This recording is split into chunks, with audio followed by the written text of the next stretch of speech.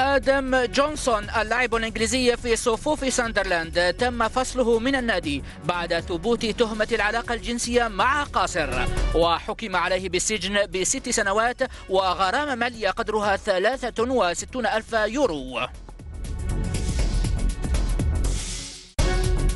سيرجي كيرديابكين رياضي المشي الروسي سيحرم من الميدالية الذهبية التي تحصل عليها في الألعاب الأولمبية في لندن عام 2012 في سباق الخمسين كيلومتر مشيا على الأقدام. بسبب المنشطات القرار جاء من محكمة التحكيم الرياضية طعنا في قرارات روسيا المتساهلة.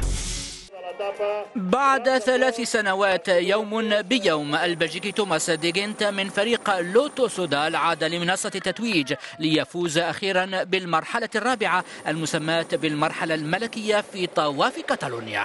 بعدما عانى من إصابات عديدة في المواسم الأخيرة على مسافة 172 كيلومترا ديجنت تجاوز الهولندي بيتر وينينغ الذي كان يقود الصعود إلى القمة في البداية. البلجيكي صاحب 29 عاما حافظ على التقدم في النهاية بدقيقة وثمان ثوان على كينتانا.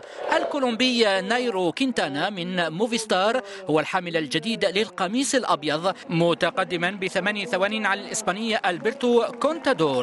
الجمعة المرحلة الخامسة ستربط بين ريليرا وفال